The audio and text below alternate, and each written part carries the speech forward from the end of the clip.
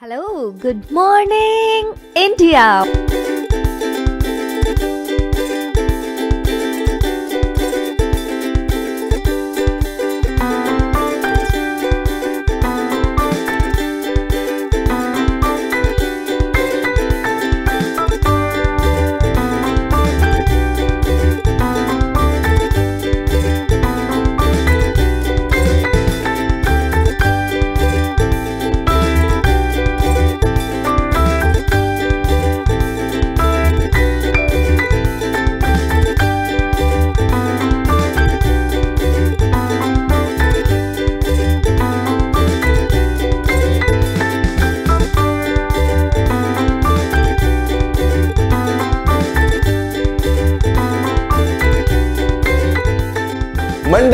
Friday back to back classes live from studio आज ही subscribe करें वाईफाई स्टडी चैनल को।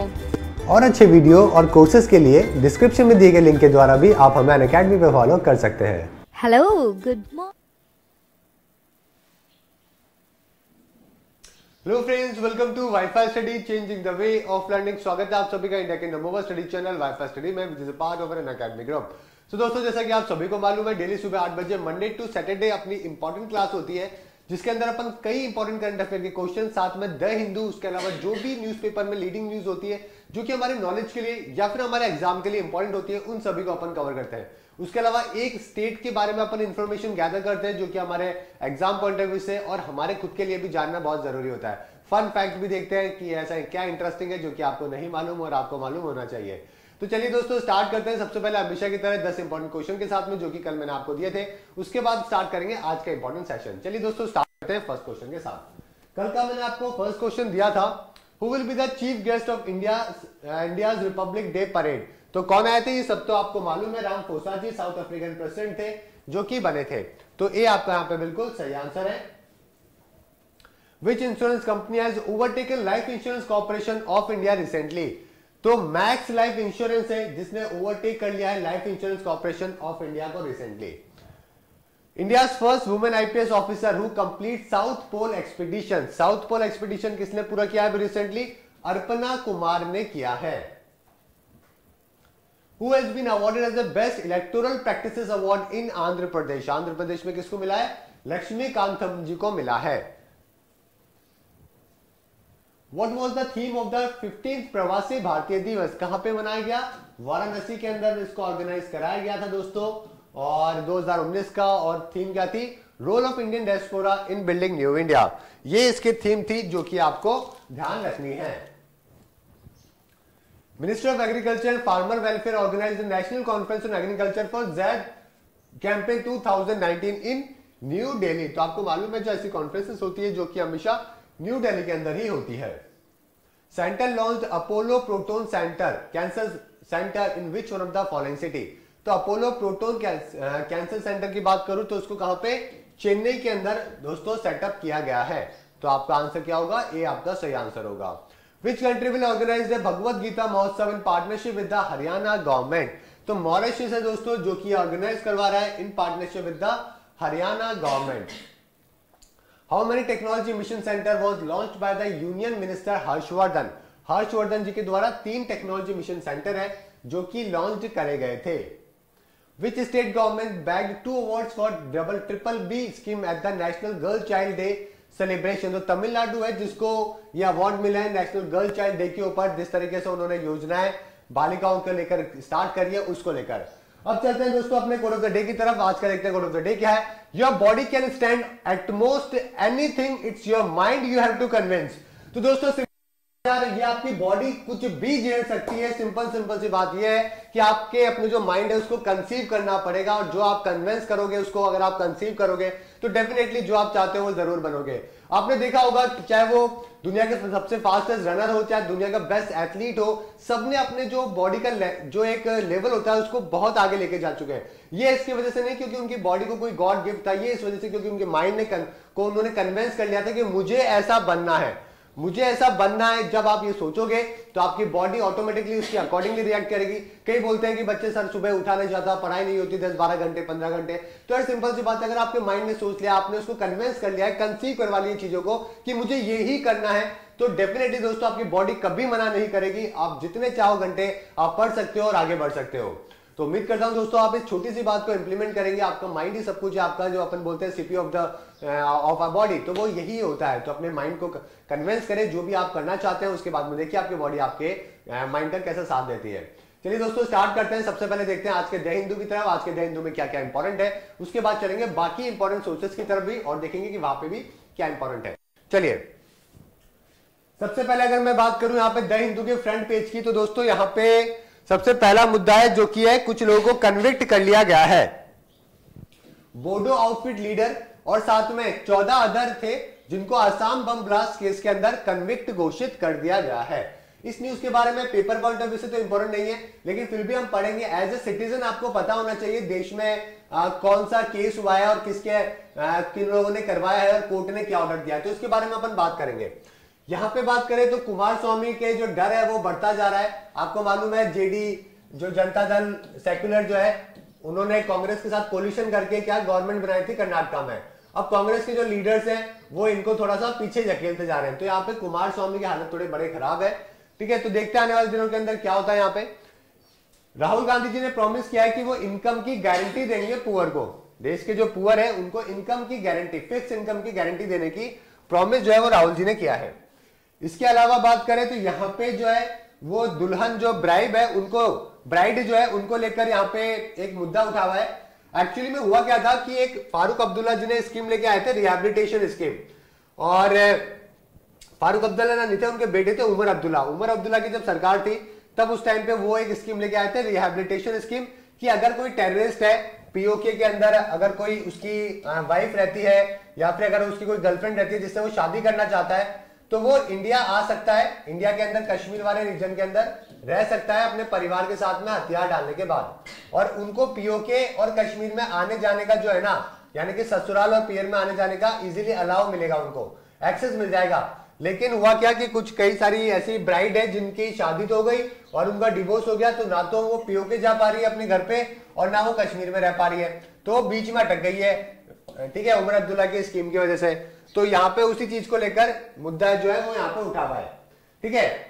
चलिए तो सबसे पहले तो अपन थोड़ा इसके बारे में देख लेते हैं बोडो आउटफुट के बारे में।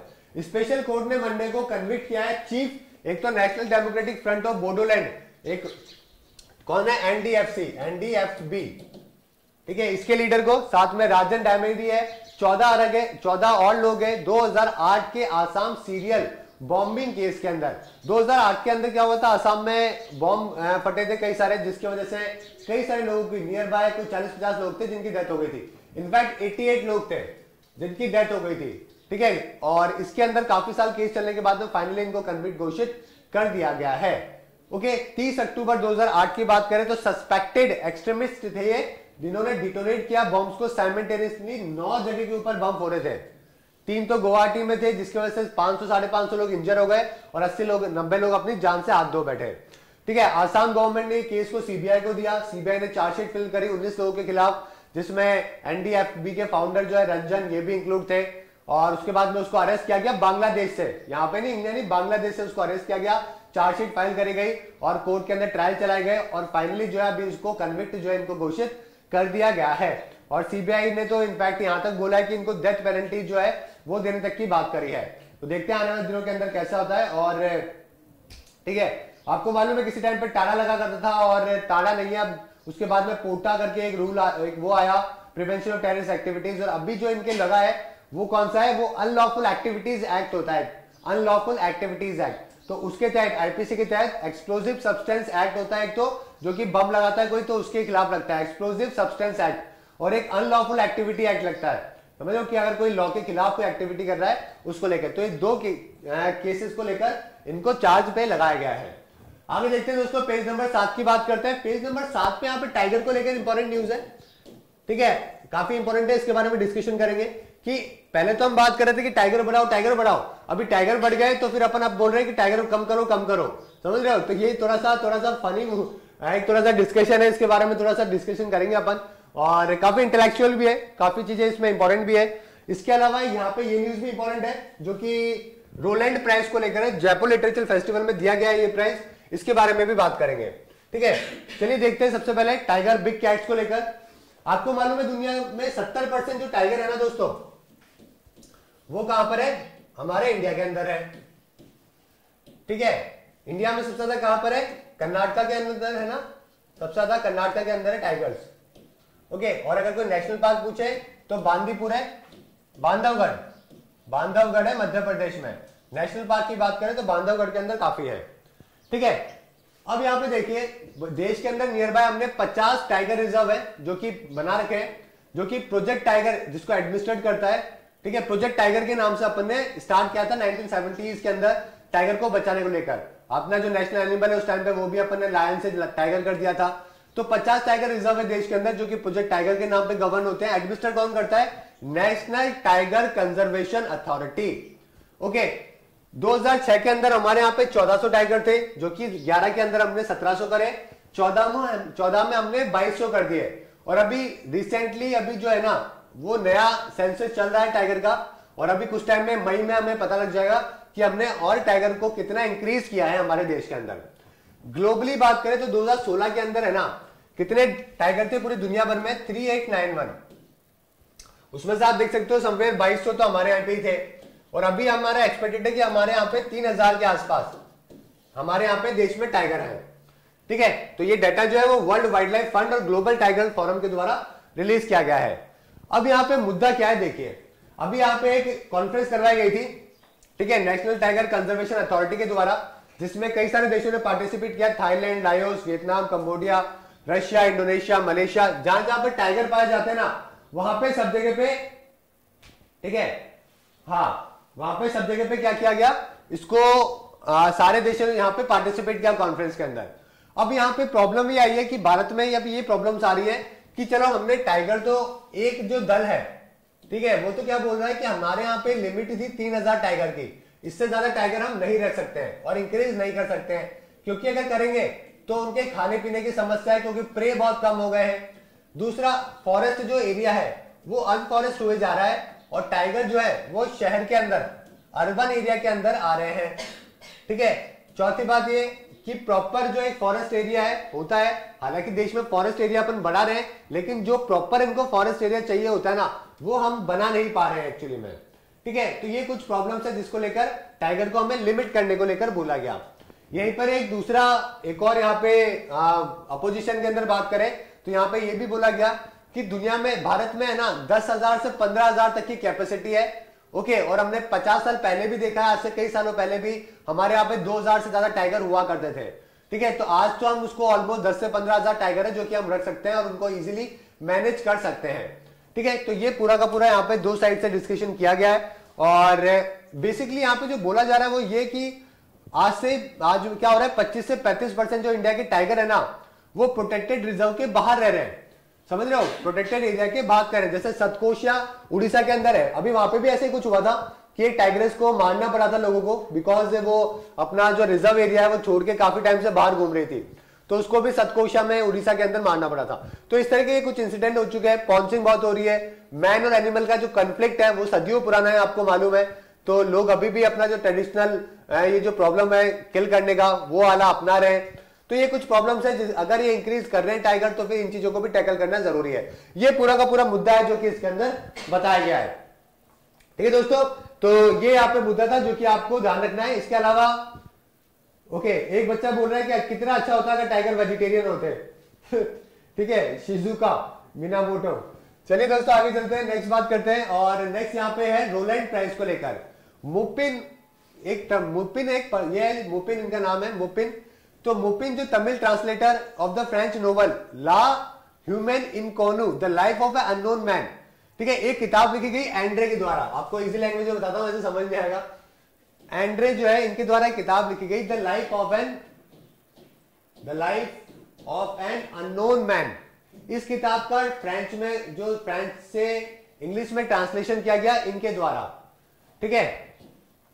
ठीक है, इनके द्वारा एस आर एस आर जो है किचिनो मूर्ति, इनके द्वारा इसका ट्रांसलेशन किया गया और इस ट्रांसलेशन की वजह से जयपुर लिटरेचर फेस्टिवल के अंदर इनको रोमियन, रोलैंड प्राइज से नवाजा गया। फ्रेंच एम्बेसी ने ये पुरस्कार दिया है और ये अगर कोई फ्रेंच नोवेल को इंग्लिश में ट्रांसलेट करता है, ठीक है तो उनको ये पुरस्कार मिलता है, जो कि काफ़ी अच्छी तरीके से किया जाता है। तो यहाँ पे किचिनो मूर्ति को इस अवार्ड से नवाजा गया है। फ़ोटो आपके सामने है। The life of an unknown ये किताब थी, जो कि किसके थी? एंड्रे की थी। ठीक है तो इसके लेकर इनको इस पुरस्कार से नवाजा गया आपको ये बात ध्यान रखनी है। चलिए, आगे चलते हैं दोस्तों। नेक्स्ट बात करते हैं, पेज नंबर 11 की। यहाँ पे अगर हम बात करें तो यहाँ पे डिटेन फॉरनर्स को लेकर मुद्दा है। इसके बारे में भी डिस्कशन करेंगे। एक्चुअली में होता क्या है दोस्तों, कि कई सारे लोग हैं जो कि हमारे देश में रुक जाते हैं और उसके बाद में काफ़ी टाइम तक उनको हो जाता है। ना तो सिटीजनशिप का पता होता है, ना उनके वीज़ा का पता होता है और ना किसी और चीज़ का पता होता है। ठीक है, अब यहाँ पे जो बात हुई है, वो आसाम की बेसिकली करी जा रही है। सुप्रीम कोर्ट ने जो है ना यहाँ पे एक चीज़ बात बोली है सुप्रीम कोर्ट ने कि हमें लिस्ट पक, पकड़ाइए कितने डिटेन्ड फॉरेनर्स हैं हमारे देश में। या फिर आसाम में अगर बात करो तो बेसिकली आसाम की बात करी गई है। ये देख सकते हो आप ये सारे कैंप है जो कि डिटेन फॉरेनर्स के एक्चुअली में क्या होता है आसाम में है ना सौ फॉरेनर्स ट्रिब्यूनल है इसको हैंडल जो केस है वो आसाम बॉर्डर पुलिस ऑर्गेनाइजेशन को दे रखा है जो कि क्या करती है डिटेन करती है डिटेक्ट करती है foreign nationals in the state February 2018 के अंदर जो है वो नियर बाय नौ सौ, साढ़े नौ सौ लोगों के बारे में पता किया गया, जो कि बिन वीज़ा के या फिर बिन सिटीजनशिप के आसाम के एरिया में रह रहे हैं। ठीक है? डी वोटर्स एक होता है डी वोटर्स ये डी वोटर्स कौन से होते हैं दोस्तों? ये डाउटफुल वोटर्स होते हैं। ठीक है? डी वोटर्स का मतलब होता है डाउटफुल वोटर्स जो अपना प्रॉपर सिटीजनशिप क्रीडेंशियल, क्रीडेंशियल्स नहीं दे पाए हैं। ठीक है डी वोटर्स को फॉरेन ट्रिब्यूनल्स को दिया जाता है ताकि वो अपनी सिटीजनशिप के बारे में पता कर सके। अगर वो अपनी सिटीजनशिप प्रूव नहीं कर पाते हैं तो उनको अपने क्या बोलते हैं? डी एफ़ अपन उनको कहते हैं। इसका मतलब होता है डिक्लेयर्ड फॉरेनर्स यानी कि ये फॉरेनर्स हैं, हमारे देश के नहीं है, और इनको डिटेंशन कैंप में भेजा जाता है। देखिए 2017 तक ढाई लाख डी वोटर्स थे। उसके बाद में सवा लाख के आसपास का जो केस है वो डिस्पोज हो गया और सवा लाख का भी केस जो है वो पेंडिंग है। यहाँ पे देख सकते हो, ठीक है, कितनी सारी जगह तेजपुर है, जोरहट है, डिब्रूगढ़, सिलचर, कई सारी ऐसी जगह है जहाँ पे कैंप्स बना रखे हैं और यहाँ पे लोगों को रखा जा रहा है। अब यहाँ पे कैसे रखा जा रहा है, क्या इनको सर्विस मिल रही है, नहीं मिल रही है, कितने लोग हैं तो इन सारी की सारी इंफॉर्मेशन जो है वो सुप्रीम कोर्ट ने लेने के लिए यहाँ पे बोली है। ठीक है? तो ये भी आपको ध्यान रखना है। डी वोटर्स कौन होते हैं? डीएफ कौन होते हैं? ये सब आपको पता होना चाहिए। ठीक है? ओके हाँ। ये सब आपके लिए इंपॉर्टेंट है। चलिए दोस्तों, आगे चलते हैं। नेक्स्ट बात करते हैं यहाँ पे पेज नंबर 18 की। और यहाँ पे जो एक न्यूज़ है वो नासा की है, इसके बारे में देखेंगे। और दुनिया की सबसे लोनलीस्ट डक जो है ना ट्रिवर उसकी भी मृत्यु हो गई है। ठीक है, टाइनी एक न्यू करके आइलैंड है, वहाँ पे सबसे अकेली थी एक डक, उसके साथ में कोई नहीं था खेलने कूदने के लिए। तो डक जो थी लोनलीस्ट दुनिया की सबसे लोनलीस्ट डक, ट्रिवर, उसकी भी डेथ हो गई तो ये भी न्यूज़ के अंदर हाईलाइटेड है। समझ रहे हो? चलिए, आगे देखते हैं। यहाँ पे हम बात कर रहे हैं नासा के अपॉर्चुनिटी रोवर की। क्या हुआ था दोस्तों? आज से नियर बाय पंद्रह साल पहले, दस साल पहले नासा ने जो है ना, एक अपॉर्चुनिटी रोवर भेजा था, किसके ऊपर? मार्स के ऊपर। ओके तो 10 साल भी नहीं हो गए, इसको 15 साल इसने पूरे कर लिए हैं। 15 साल जो है ना, इसने surface of the Mars Mars के सरफेस के ऊपर जो है, वो पूरे कर लिए हैं। ठीक है? और अभी हुआ क्या था कि मार्स के ऊपर एक बहुत बड़ा तूफ़ान आया था तो स्ट्रॉम के आने की वजह से क्या हो गया कि जो रोवर था ना, ये बेचारा अपनी जगह से हिल ही नहीं पा रहा है। और ना तो सनलाइट ले पा रहा है, और सनलाइट नहीं ले पा रहा है तो इसकी जो बैटरीज है सोलर बैटरीज वो चार्ज नहीं हो पाई। और फाइनली जो है, पिछले कुछ महीनों से है ना, ये कोई भी सिग्नल नहीं दे पा रहा है। तो अभी नासा ने मान लिया है कि अपॉर्चुनिटी रोवर जो है, इसका लास्ट टाइम आ चुका है और अब इसको हम टाटा बाय बाय करने वाले हैं। समझ रहे हो? तो ये अपॉर्चुनिटी रोवर के बारे में भी पेपर में आपसे पूछा जा सकता है। नेक्स्ट बात करते हैं, यहाँ पे एक और न्यूज़ थी। यहाँ पे अगर आप देखोगे, एक तो ये वाली और एक ये वाली, दो न्यूज़ अपन ने कवर करी है। ठीक है? यहाँ पे जो है दोस्तों, एक और बहुत ही इंटरेस्टिंग सी बात है कि अपन ने अपने यहाँ पे क्या हुआ था, एक ग्लोबल स्प्रेड हुआ था मतलब एक एमडीआर करके मल्टी ड्रग रेसिस्टेंट बैक्टीरिया था एक मल्टी ड्रग रेसिस्टेंट यानी कि कितने आप उसको ड्रग दे दो, उस बैक्टीरिया के कोई फ़र्क नहीं पड़ेगा। इसको अपन ने नाम दिया था सुपरबग जीन जो कि पहली बार अपने नई दिल्ली के अंदर डिटेक्ट किया गया था आज से 10 साल पहले। अभी जो है ना ये कहाँ पे पाया गया मालूम है आपको? ये अपने नॉर्थ पोल के अंदर आर्टिक वाला जो एरिया है, वहाँ पे पाया गया है। सेवल बर्ड का नाम आपने सुना होगा सेवल बर्ड जो कि नॉर्वेजियन आर्चिपिलागो है। बिटवीन द नॉर्वे और the North Pole North Pole और नॉर्वे के बीच में सेवल बर्ड जहाँ पे अपना आर्टिक में अपना सेंटर भी है। ठीक है? याद है ना आपको? तो वहाँ पे ये मिला है। इसका नाम क्या है? ब्लैंडम बी एल ए एन ठीक है? डी एम ये इसका नाम है। ओके न्यू दिल्ली इसको बोलते हैं New Delhi metallo beta lactamase one ठीक है? न्यू डेली का नाम रखा गया है इसके ऊपर, क्योंकि सबसे पहले न्यू दिल्ली के अंदर मिला था। तो ये ऐसा बैक्टीरिया है जो कि कितने ड्रग दे लो उसको इसके कोई फ़र्क नहीं पड़ता है। इसीलिए इसका नाम सुपर बग रखा गया है। तो आपसे पूछेंगे कि ये ब्लैंडम क्या है? कहाँ पे पाया गया था? कौन सी सिटी में पाया गया था? अभी रिसेंटली कहाँ पे पाया गया है? तो ये सारी जानकारी पूछेंगे। वहाँ पे जो एनिमल है, इंसान उनके पेट के अंदर जो है ना ये सुपरबग मिला है। वहाँ के सॉइल के अंदर भी मिला है। समझ रहे हो? तो अब देखते हैं आने वाले टाइम के अंदर और इसके ऊपर क्या काम होता है। चलिए दोस्तों, और आगे देख लेते हैं। नेक्स्ट बात करते हैं नारी शक्ति की। नारी शक्ति जो अपना वर्ड है, उसको Oxford Dictionary Hindi word of the year के नाम पे नवाजा गया है। आपको मालूम है, दो पिछले साल से ऑक्सफोर्ड डिक्शनरी ने हिंदी जो अपने यूज़र्स हैं, उनके लिए भी एक वर्ड ऑफ़ द ईयर के बारे में डिस्कशन किया था। तो यहाँ पे Jaipur Literature Festival Diggi Palace के अंदर जो हो रहा है, राजस्थान जयपुर में, वहाँ पे इसका अनाउंसमेंट किया गया है। इससे पहले 2017 के अंदर कौन सा था? आधार। ओके? ये भी आपको मालूम होना चाहिए। साथ में यार दोस्तों क्लास के बारे में शेयर कर दो, जितने भी आपके दोस्त हैं। ठीक है? जितने भी आपके फ्रेंड है जो कि प्रिपरेशन कर रहे हैं, वो सभी को शेयर कर दो। व्हाट्सएप पे अभी काफ़ी कुछ बाकी है। और कुछ बच्चे बोल रहे हैं सीजीएल सीपीओ की क्लासेस हाँ दोस्तों यार, चार तारीख से आपके सीजीएल सीपीओ की भी डेडिकेटेड क्लासेस स्टार्ट हो रही है। आपके आईबी के अलग से हो रही है। इसके अलावा बात करूँ तो आपके और भी बहुत सारे साइको की क्लासेस भी हो रही है, काफ़ी सारी स्टार्ट करने वाले हैं, अभी नया शेड्यूल आएगा, चार तारीख से जो है वो नया शेड्यूल आने वाला है, ठीक है? तो उसमें आपको बहुत कुछ नया आपको देखने को मिलेगा। आरआरबी जेई की क्लासेस कई सारी स्टार्ट होने वाली है ओके तो मस्त रहो सारी क्लासेस स्टार्ट होने वाली है, आपको प्रिपरेशन का पूरा मौका मिलेगा। नेक्स्ट बात करें तो जम्मू एंड कश्मीर की बात कर रहे हैं कि एक अमेंडमेंट बिल हुआ है वहाँ पे, Jammu and Kashmir reservation amendment bill 2014 governor कौन है? वहाँ पे सत्यपाल मलिक जी है तो उन्होंने इसको अपनी हामी दे दी है और इसके तहत क्या हो गया है कि वहाँ की जो पहाड़ी कम्युनिटी है, उसको रिजर्वेशन दिया है गवर्नमेंट जॉब्स के अंदर।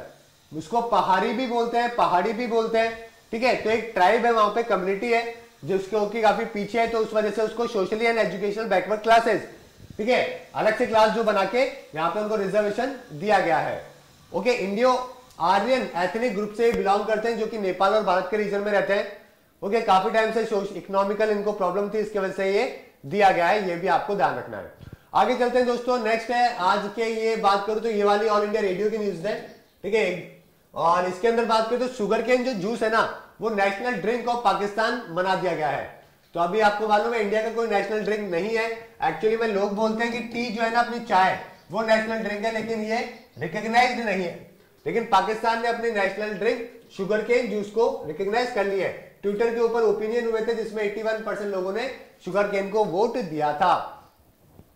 Operation Olympics commences in Kerala तो केरला के अंदर एक ऑपरेशन स्टार्ट किया है ऑपरेशन ओलंपिक्स क्या मतलब है इसका? 2020 के अंदर टोक्यो ओलंपिक के अंदर 123 एथलीट को वर्ल्ड लेवल के ऊपर ट्रेन करने को ऑपरेशन ओलंपिक्स स्टार्ट किया गया है, ताकि वो अपनी अच्छी परफॉर्मेंस वहाँ पे दे सके और अपने आगे बढ़ सके। ओके कई सारे इवेंट्स के अंदर उनको पार्टिसिपेशन वहाँ पे मिलेगा। और मैराटोवा है, जो कि मैस्कॉट है 2020 का, टोक्यो ओलंपिक्स का, और सोमेटी क्या है, पैरा ओलंपिक्स का है। तो ये दोनों भी मैस्कॉट भी आपको ध्यान रखने पेपर पॉइंट ऑफ़ व्यू से इंपॉर्टेंट है। अब देखते हैं दोस्तों, आज अपन बात करने वाले हैं मिजोरम के बारे में। अपन ने नॉर्थ ईस्ट इंडिया, अपन ने नॉर्थ इंडिया, सेंट्रल, साउथ, और ठीक है, ये सारा अपन ने कवर कर लिया था। अपन नॉर्थ ईस्ट की तरफ़ से, यहाँ पे अपन ने आसाम कवर किया, अरुणाचल, नागालैंड, मणिपुर ओके आज अपन मिजोरम के बारे में बातचीत करने वाले हैं। ओके और कल अपनी क्लास नहीं होगी तो कल अपन डिस्कशन नहीं कर पाएँगे। फिर परसों अपन बात करेंगे किसकी? यहाँ पे। ठीक है, परसों अपन बात करेंगे इसकी त्रिपुरा की और फिर मिजोरम की, मेघालय की। ठीक है, उसके बाद फिर वापस से अपन जम्मू कश्मीर से स्टार्ट करेंगे। ठीक है दोस्तों तो आज अपन मिजोरम के बारे में डिस्कशन करने वाले हैं। देखते हैं आज मिजोरम के बारे में क्या क्या आपको मालूम है और क्या क्या आपको पता होना चाहिए। कैपिटल की बात करें तो मिजोरम की कैपिटल क्या है? आइजॉल ठीक है और साथ में आप कमेंट भी करते रहा करो ताकि आपको क्या होगा उससे कि आपके जो इफिशियंसी है, याद करने की कैपेसिटी वो काफ़ी बढ़ जाती है। ठीक है कमेंट करने से आपके थोड़ा सा सही हो जाता है कि आपको रिटेंशन जो होता है ना नॉलेज का वो थोड़ा बढ़ता है। ठीक है फॉर्मेशन इसका हुआ था 87 के अंदर। बीस फेब्रवरी 1987 के अंदर इसका फॉर्मेशन हुआ था। ठीक है, इसके अलावा आइजोल कैपिटल हो गई नंबर ऑफ़ डिस्ट्रिक्ट कितने हैं? आठ यहाँ पे नंबर ऑफ़ डिस्ट्रिक्ट है। सीएम की बात करें तो यहाँ पे सीएम कौन है अभी? जोहरम थंग जोहरम थंग जो कि यहाँ पे अभी सीएम है एमएनएफ इनकी पार्टी का नाम है, ओके? और गवर्नर कौन है? यहाँ पे राजशेखरन राजशेखरन है, जो कि अभी गवर्नर है, और साथ में सीएम मैंने आपको बताया दिया जोरम थंग यहाँ पे सीएम है। एमएलए की बात करें तो 40 यहाँ पे सीटें हैं एमएलए की, एक विधानसभा और एक लोकसभा। तो ये तो बड़ा आसान है, आपके लिए कोई दिक्कत ही नहीं है इसके अंदर। ठीक है? ऑफिशियल लैंग्वेज की बात करें तो ऑफिशियल लैंग्वेज मिजो इंग्लिश जो कि यहाँ पे नॉर्मली काफ़ी चलती है। ये देख सकते हो आप, हिंदी भी है। और नंबर ऑफ़ डिस्ट्रिक्ट मैंने आठ आपको बताई थी। स्टेट फ्लावर यहाँ पे क्या है? रनन थेरा है। स्टेट फ्रूट है, पैशन फ्रूट। एनिमल है यहाँ पे, सोमेंटन सैरो। और बर्ड यहाँ पे, ह्यूमन पीजेंट है। स्टेट गेम यहाँ पे, रॉड, ठीक है, पुशिंग है, जिसको माना जाता है। स्टेट ट्री की बात करें तो मैसुआ है। और स्टेट डांस यहाँ पे चैरू। सीएम पहली बार यहाँ पे चंग थ्री को बनाया गया था 72 टू 77 के बीच में। ठीक है? और असेंबली के अंदर मैंने आपको बताया दिया 40 सीटें तो विधानसभा में और एक लोकसभा और एक राज्यसभा। स्टेट फेस्टिवल की बात करें तो यहाँ पे पेपर पॉइंट ऑफ़ व्यू से विम कट और पॉल कट ये दो इंपॉर्टेंट है। नंबर ऑफ़ डिस्ट्रिक्ट मैंने आपको बताया दिया, इसको स्कॉटलैंड ऑफ़ ईस्ट भी कहते हैं। समझ रहे हो? स्कॉटलैंड ऑफ़ ईस्ट के तौर पर भी मिजोरम को जाना जाता है।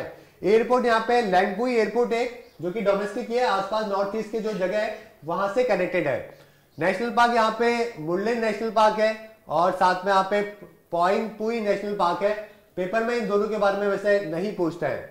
ठीक है वाइल्ड लाइफ सेंचुरी भी इसी के बारे में ये राजीव गांधी स्टेडियम बना रखा है और एक लैम्ब्यू भी स्टेडियम है, लेकिन इतने कोई बड़े स्टेडियम नहीं है तो पेपर में इसलिए नहीं आते हैं।